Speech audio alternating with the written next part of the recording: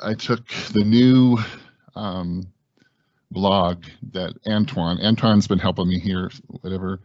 And so you can see this is just a, a basic shows the content page and that. So basically created a theme based off of that. And then I created a, let's see, an Angular 9 just came out. So let's go ahead and bring that up here. So this is an Angular 9 application here. And so what I did is I took our basic blog component that was from our Angular component. And then I took the new blog component from Orchard and married them together using GraphQL. And so um, if you want to show us something, you will have to zoom. yeah. Okay. Control yeah, plus. Sure Control plus should work on VS Code. Um, this is Control plus, unless you have a Mac or I don't know. That's yeah, that's better. A little bit more, and then perfect. okay. So here's okay. So I, I don't know if you guys are familiar with with Angular, but I can just show you the very first first part. Okay. So then these are your main files like AngularJS is kind of like all your components, how you set things up like that. And then if you go into the source code here, I have a blog component and I have a blog content component, a GraphQL component.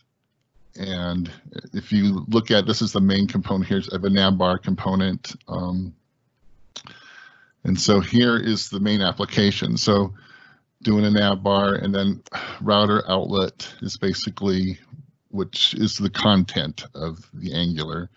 So, so basically, it, you have the blog post here, um, blog con content. So let's go ahead and go to the blog here, and looking at here's the the main gist of everything. So here I say for let blog of blog post, and I parse through all of that and then do the GraphQL basically with inside there to get all the information. So this is the basic contents of that. And then in the blog content here, I just actually display the whole thing here.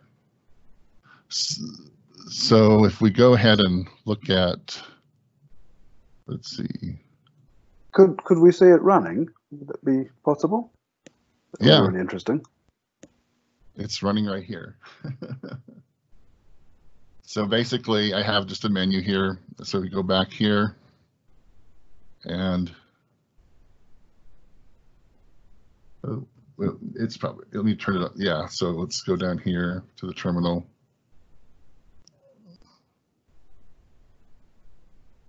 So,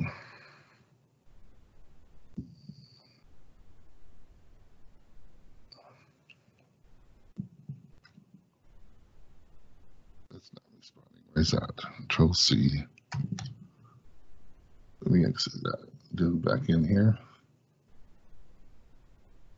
Okay, and let's go ahead and do you do an ng serve dash o.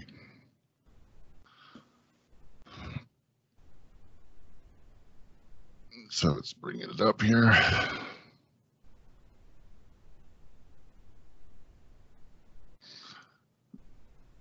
So there's the actual blog here. So if we go, um, something's going on right here.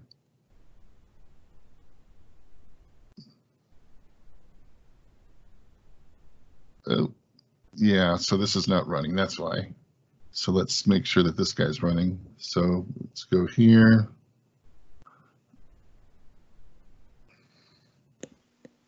Oh, the server is not running. So yeah, the server's not running here. It's really so headless. so here's the headless part here. If you don't so have the body, the headless.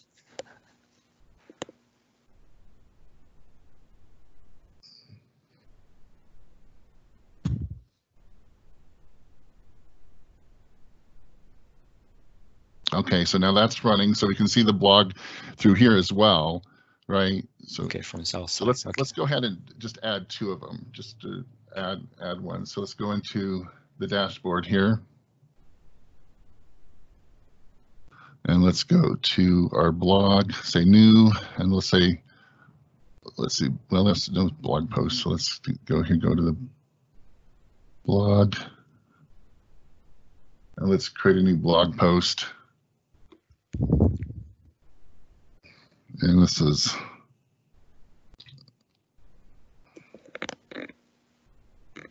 new blog post.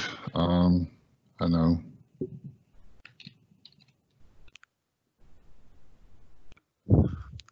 Here we go. This is a blog post.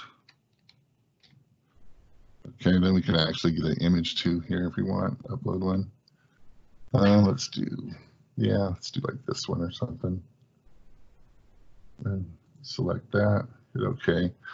So now this basically is the actual update that Antoine did where you could actually add a picture now, which is kind of nice. And then let's go ahead and publish that. All right, let's bring him over here. And let's see, this is here. So now let's refresh this guy. And so see, we have our blog post. Isn't that cute? And you click into that. And there's our blog. So it's so Angular using GraphQL and all that. Pretty slick, isn't it? Then we can go back to the to the other one and go into that one as well. And that's yeah, that's a different website. Okay, Yeah, that's an so that- Angular yeah, website, static website that goes in Right, so this is the Angular website here. And But you cheated because I'm sure you configured anonymous access to the GraphQL endpoint. yeah, I, That's yeah, okay. so It's not really I can show you, do you want me to show you that part? Uh, I'm, oh, well, I assume there is no. well, what do you want to show? Just, All right, yeah, I, I can show you the, how the interface, you know, if we go to the GraphQL here, um, configurations, is it search? Yeah, queries, all queries. So here's the search, recent blog posts, you know, queries, those are the standard ones. Um, and then if you go into configuration, GraphQL, And then you- GraphiQL. GraphiQL, right, exactly, yeah. So we can Yeah, that's the GraphiQL. things there as well. Mhm. Okay. And if we go back to this guy here, um, here, here's our GraphQL inside of um, the the Angular stuff here. So you, So you question.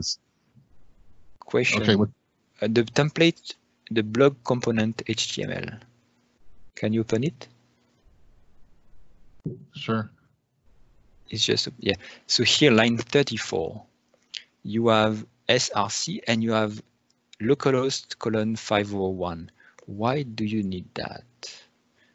Well, that that's just the local host, right? The that I'm running with the with the ser- the local server, right? Yes, but that's the server, that's the Angular app or that's the, um, Well, these are the, the images. Yeah, these are the images. Yeah, well, this is the this is the um Orchard app? Orchard. Yeah, Orchard Okay. core application Can right you, here. can, can you go back on the Orchard admin GraphiQL, GraphiQL page and click on blog post and, and check uh, the image where a banner, whatever it is, what is that? So um, image and click on path and URLs also, yeah, and click on URLs and run it. Okay. top. No, no, no, no, no. Yeah, this one. Yeah, run.